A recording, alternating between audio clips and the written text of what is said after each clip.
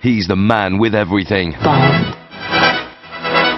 For the last 40 years, we've watched him seduce some of the world's most beautiful women, The things I do for England. drive the world's best cars, play with the best gadgets, and save the world at least, well, mm, 19 times. Thank you very much. He's the one all the boys want to be, and all the girls want to get with. Yes, the world's best secret agent is back. Who are you? My name's Bond. James Bond. Bond. James Bond. My friends call me James Bond. Now there's a mouthful. 2002 sees the release of the 20th James Bond movie. So you live to die another day. Hitting cinema screens around the world this winter, Pierce Brosnan stars in his fourth outing as 007 in Die Another Day. Bond is one of the most successful film franchises ever. With the first release in 1962, 007 has come a long way. And it's good to know that there's one number you can always rely on. MTV was exclusively invited onto the set of Die Another Day, and we got to hang out with Pierce Brosnan, director Lee Tamahori, and the cast and crew on location in London. It's good. Sunday, Buck House behind us. Nothing prepares you really for actually being on set with James Bond. Every guy's dream is to be Bond, but uh, the second best is definitely being a Bond villain, so I'll make do with that. It's a spring day in 2002. The peace and calm outside London's most famous landmark Buckingham Palace is disturbed by the 4am arrival of the 007 film unit.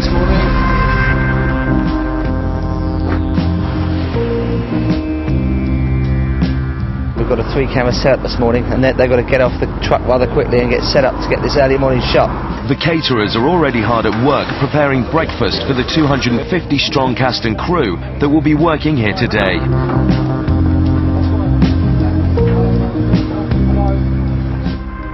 Get up, six o'clock, straight into the clothes, pick the script up, into the car, makeup, hair, read the newspapers, wait around. If it's an action sequence, then it takes its time. Today's shooting schedule is under massive time pressure.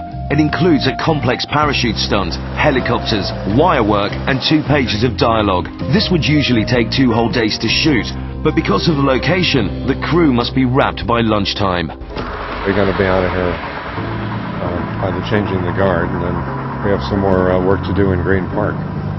Be a busy day. We have very strict limits here to shoot uh, Toby, Gustav Graves, coming in on the parachute here. We have uh, the helicopters loaded up, ready to take off at 6.15 to be here for 6.30 jump. We have to have that crane and all of us have to be clear from this area by 1.30. So we have a very tough schedule today.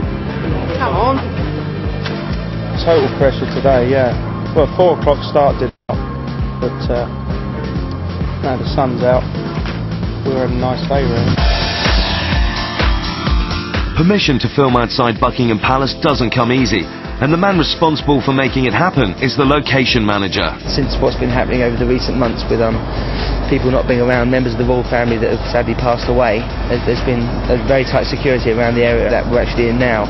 We're very lucky to get this position where we are here. It'll make the day go smoother. Everyone understands that, and it'll mean we'll get out of their hair earlier, and it means that the day will be achieved. The 007 unit also needed to ensure that they were allowed to have a helicopter hovering above the Queen's bedroom for the parachute stunts. To fly a helicopter within one kilometre of Buckingham Palace, you've got to, you've got to get very special permissions from anti-terrorist units and all protection squads. Now, they've all obviously been in place and helped us achieve this this morning, along with um, Civil Aviation Authority. We're in the London flight zone here, which is approach area to Heathrow, and to have a helicopter in one static position there is obviously quite strange for them, and, and obviously with aviation at the moment, it's a sensitive point as well. Apparently, there might be some people watching us now from um, anti-terrorist units and um, protection squad, supposedly from higher positions, static points. Here we go. See ya.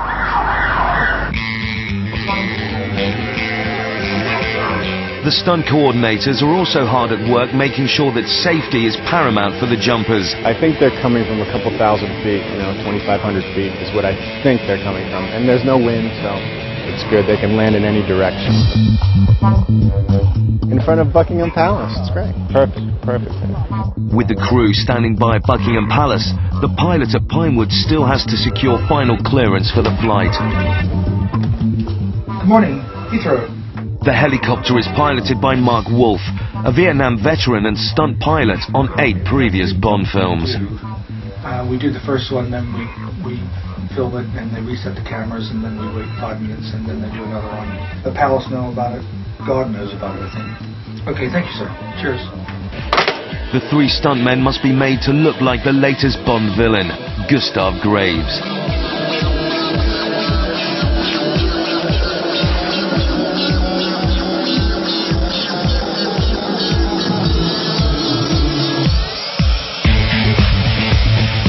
Yeah, go ahead. Pass the word round. Helicopter's taking off. With the clock ticking, the cameras are ready to roll when the helicopter arrives at Buckingham Palace. The three stuntmen give the crew three chances to get the shot perfect. There is no room for mistakes. Okay, stand by. Shoot next time. Chopper's coming in. Chopper's coming in. And here we go. Three, two, one. It's off. Hands away. Hands away. Jumpers away. Jumpers away.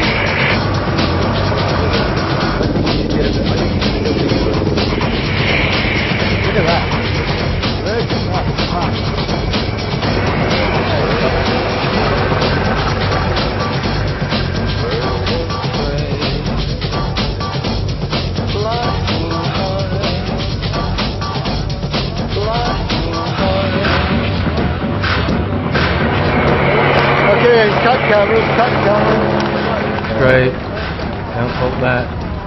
And he does that little turn. Good. Good. Excellent. Good. Good. Fantastic. Uh, oh, look at that. Mint. Mint. Great. Very good. That was the aerial unit phoning say that they uh, got amazing footage of our double coming across Buckingham Palace over the House of Parliament. The Thames glittering in the background. It's gone really well. It's been absolutely fantastic. Congratulations. Well done. Thank you very Top much. man. Yeah. you, Even this looks good. Did it? Very good. You got the flight? Oh, it was fantastic. No, no, it was excellent. Yeah, very Excellent. good. Yeah. I'm No, enough I couldn't. I couldn't imagine uh, you could drop them on a dime like that. But it was good. Oh, it was really strange wind conditions, but it Was was it? nice. Nice, perfect. Yeah. We don't get a chance to do this again, would we? No, not at all. What's it like from up This there? is one for the Oh, just see Buckingham Palace and the statue Yeah, yeah, and everything yeah, from there. fantastic. The visuals are fantastic. And, yeah, no, that Okay. really was a treat. Well done. Thanks a lot. The jump was a success, but Lee chooses to go for one more for safety. Stand by then, please. Are you ready? Go ahead, go ahead. Hey, uh, we're ready to come in. Okay, five, four, three, two, one, action! We got a time frame on us here at Buckingham Palace. We've got to keep moving on. I'd shoot three jumpers, but we just can't afford the time, so it's better to move on. We got it on the first one. The first one was fantastic. The second one, we just cover ourselves. Third guy, unfortunately, too bad. We need the time. We've got to get out of here by 9.30, get off this piece, so we now start putting Toby in here and got to shoot this. But this will take longer than the jumpers, strangely enough. So, you know, better to use the time the way we've got it. Move on. Then we've got to be behind these gates by 10 to just keep boxing on. And you guys are taking up valuable time, so get the hell out of here. That's it. They've got two jumps. They've got everything they wanted. The third jumper's still in the aircraft. He's waiting to go. He's going to be upset that he didn't jump.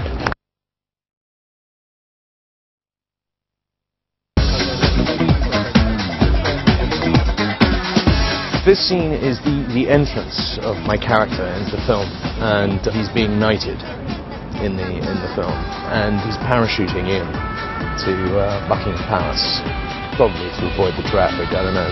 Toby knows how to fly the parachute now. I've briefed him up. He's got to do it justice.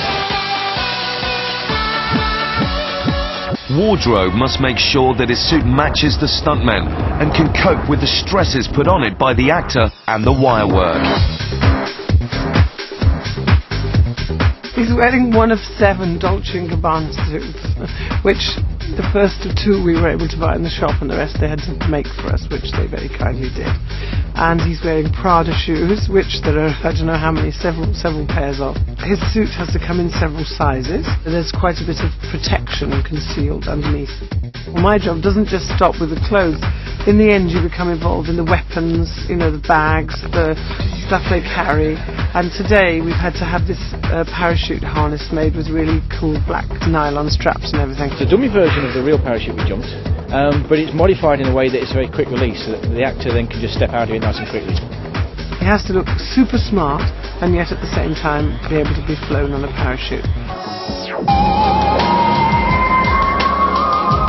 In this scene, Gustav is aided by his mysterious and beautiful assistant Miranda Frost. This guy just coming into land over there is my boss, Gustav Graves, who's the main villain of the piece. At least he thinks I'm his assistant, but I'm actually a uh, MI6 secret agent. She is a Bond girl, you know, Miranda Frost is a Bond girl and is going to be a Bond girl forevermore, but, you know, I'm going to step out of her shoes at the end of the film.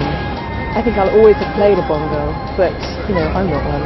Not forever and a day you know, it's a label you're proud to carry. I mean, look at look who've gone before.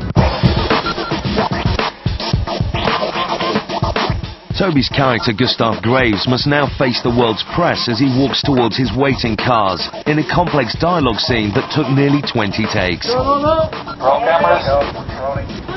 Take two. Acre remark. Speaker remark. Okay, here we go. Watching the skies. Here he comes. Background action. And he's coming in, doing a turn right over Buckingham Palace, coming down, coming towards you. 10 feet, 6 feet, 3, touching down, coming towards you. Go. What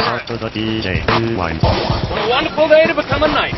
Will you be using your title, Mr. Graves? Ah, you know me. I'm proud of my adopted nation, but I never stand on ceremony. I cut it. Go again.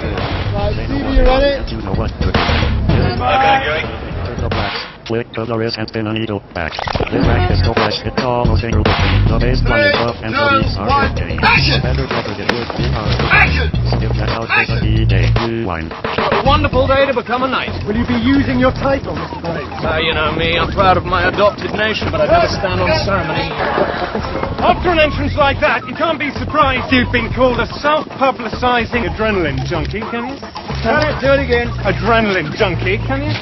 I prefer the term adventurer. Having made the deadline for filming outside Buckingham Palace, the unit moves inside the gates of Green Park to continue the scene, and Pierce Brosnan arrives at the set to shoot his part of the action. They jumped and the chute opened.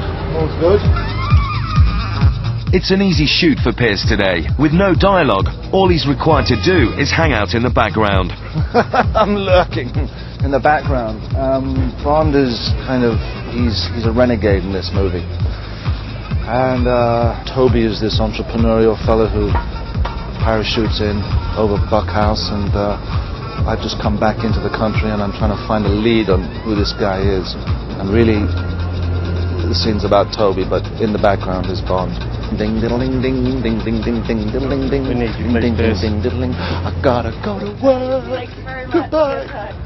As the filming progresses, crowd numbers are swelling by the minute. The bonus of catching a glimpse of 007 at work is proving very attractive to the tourists, and a few members of the press as well. Whenever a Bond film shoots on location, especially in a major place like this, we are to expect press.